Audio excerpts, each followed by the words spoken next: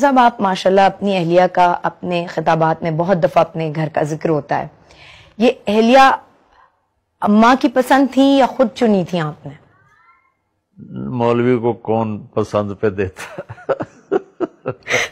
اور جب میں نے، بیٹا میں نے سیونٹی ون میں میڈیکل لائن چھوڑی۔ اس وقت ڈاکٹر ایک بہت بڑا امیج تھا۔ اور مولوی ایک گندگی کا کیڑا شمار ہوتا تھا۔ اور میں جس فیملی سے تعلق رکھتا ہوں، ہم پنجاب کے لوکل زمیندار ہیں جو تکبر سے بھرے ہوتے میں نے جب وہ راستہ چھوڑ کے علم حاصل کرنے کا ارادہ کیا تو میرے والد رحمت اللہ علیہ نے مجھے گھر سے نکال دیا۔ یہ تیئیس نومبر انیس سو بہتر ہفتے کا دن تھا۔ اور صبح میں ناشتہ کر رہا تھا تو میرے والد باہر سے تشریف لائے۔ دھوتی باندھی ہوئی دھوتی باندھتے تھے اس وقت سب ہماری تو بوڑھی عورتیں بھی دھوتی باندھتی تھی اس وقت۔ اور کرتا کھلا جیسے ہوتا ہے۔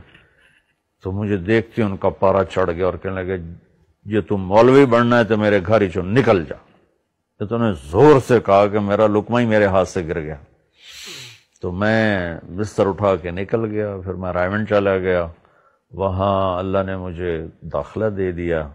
تو جب میں فارغ ہوا تو میری فیملی، عام طور پر ہم فیملی کو ترجیح دیتے ہیں مجھے کوئی رشتہ دینے کے لیے تیار نہیں تھا۔ تو کہتے مولوی مولوی نے رشتہ دے دے بھی۔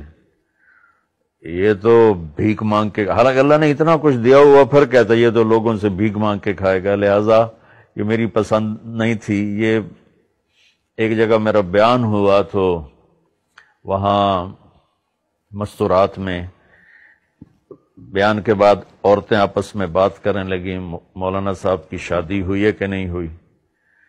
تو میری بہن بیٹھی تھی وہاں بیان میں، وہ کہنے لگی، اس کو تو کوئی بیٹی دیتا ہی کوئی نہیں۔ تو میری ساس بیٹھی تھی کہ کیوں نہیں ہم انشاءاللہ دیں گے۔ اس طرح سے بات چلی اور میرا رشتہ ہوا۔